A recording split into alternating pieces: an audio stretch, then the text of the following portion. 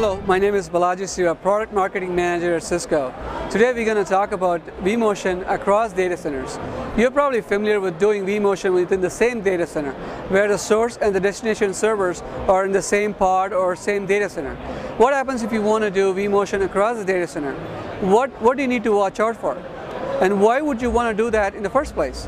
vMotion across data center is useful for, for example, data migration, uh, data center disaster avoidance, and many other reasons for doing that. So some of the things that you would need to worry about when you want to do vMotion across data center is how do you maintain the same layer 2 network between the source and the destination ESX server, how do you manage the storage, and how do you manage the routing. For first, let's talk about the LAN extension part.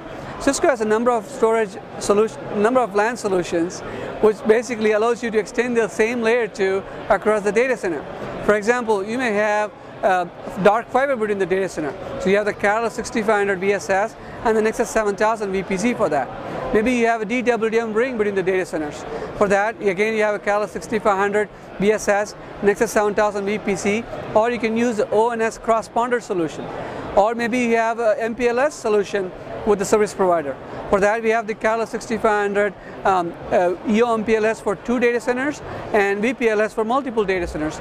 As, uh, also you get the EoMPLS with the ASR uh, platform. For if you just have IP, you don't have MPLS, you don't have dark fiber, what do you have just IP? We also have a solution for that using the Cala 6500 uh, SIP 400 solution. Now let's talk about storage. In, when you come to storage, you have uh, shared storage where you keep the storage in the old data center, or you have active-active where you have the storage in both the data centers, or you have to do something called host-based where you move the storage along with the VM. For example, the storage vMotion that VMware offers. So you need to uh, you can use the Cisco MDS family to do the storage extension where native fiber channel or FCIP, which is fiber channel over IP, and FCIP with acceleration.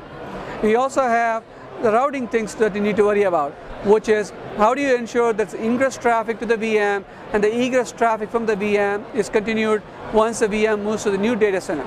So you can do active-active HSRP or you can do uh, host-based uh, route injection to ensure that the traffic continues to reach the VM in the new data center.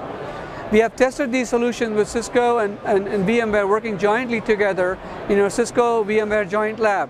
We have proof of concept we have tested up to 80 kilometers. We have seen that you can do vMotion across data centers and the performance hit in terms of um, your uh, cutover time is very minimal between the same data center and the 80 kilometer data center and as well as the performance of the VM itself.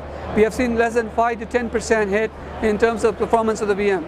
If you want to know more about these solutions, you can reach out uh, at cisco.com as well as the blogs at vmware.com slash networking. You get more information as you go to the VMworld 2009. Uh, we will have a Cisco Live demo as well as presentations. And thank you for watching. Have a good day.